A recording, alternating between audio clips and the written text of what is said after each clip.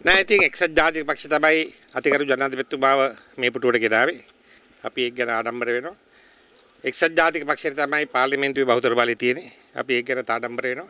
ඉතින් අපි සූදානම් යහපාලන ආණ්ඩුව ඉදිරියට අරන් යන්න අපි සූදානම්. නමුත් අපි එපා කියනවා. ආ අපි අලුත් ගමනක් යන්න සූදානම්. එච්චරයි. අලුත් ගමනක් අලුත් ගමනක්. අපි ජනවරමක් ඉල්ලලා තියෙනවා. අලු- ජනවරමක් ජනතාවගෙන් අලුත් ගමනක් යන්න. අපි බලමුකෝ ජනවරම ලැබෙන්නේ කාටද කියලා. වැඩි- වැඩි ඕනේ නැහැ. අපි 10 වෙනිදා වෙනකන් ඉමුකෝ පෙබරවාරි. මොකද ඔච්චර හදිසිය? එක්සත් ජාති පස්සේ වෙන මාණ්ඩුවක් පිටවන්නත් නෑ අලුත් ගමනක්. ඒක තමන් කැමති විදියට අර්ථ නිරූපණය කරන්න පුළුවන්. අලුත් ගමනක්. අපේ අග්‍රාමාත්‍යතුමාගේ දෑත් ශක්තිමත් කරලා අලුත් ගමනක් යන්න අපි සූදානම්.